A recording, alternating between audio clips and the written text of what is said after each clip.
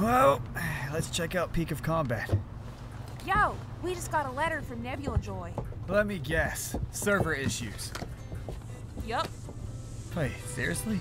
It gets even better. Give it a gander. Fuck it, I'll just play Candy Crush.